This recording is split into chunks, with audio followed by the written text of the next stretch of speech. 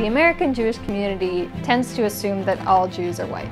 Three times my classmate tried to stone me for being a Jew. He told the teacher that my mom doesn't allow me to hold the hands of anyone who's black.